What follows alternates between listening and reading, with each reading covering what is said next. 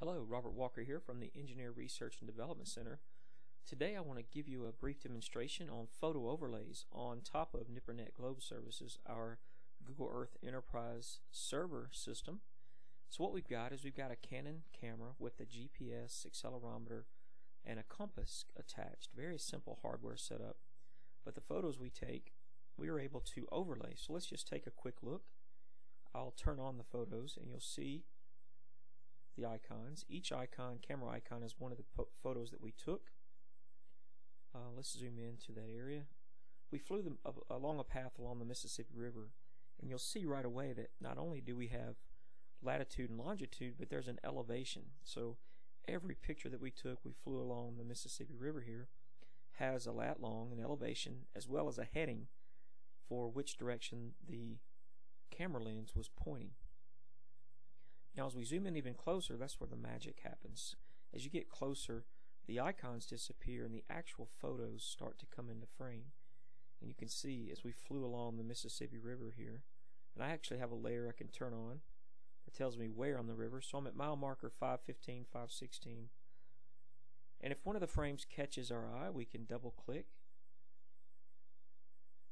and the Google Earth Enterprise will zoom us in to that particular photo. If we hold our mouse up here in the upper right corner, we actually get a photo overlay.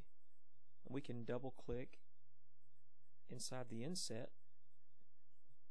and it will zoom us in on that photo and we can move that around to get a really detailed look of the picture. Now the Canon that we're using is a 20 megapixel camera so we do get a very detailed photograph. Let's go further downriver going south. And here's another uh, area along the river that caught our eye. Uh, it's a power plant, and you can see from the photos here, we took several pictures.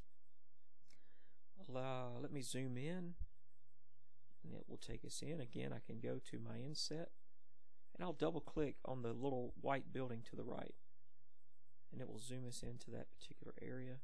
I'll double click again to go even closer and I'll do it again. I'm going to get even closer.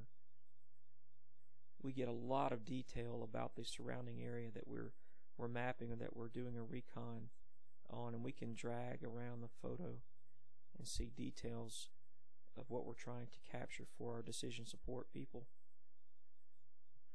So that's it. Just wanted to give you a, a brief tour of our uh, capabilities from the standpoint of photo overlays on top of Google Earth.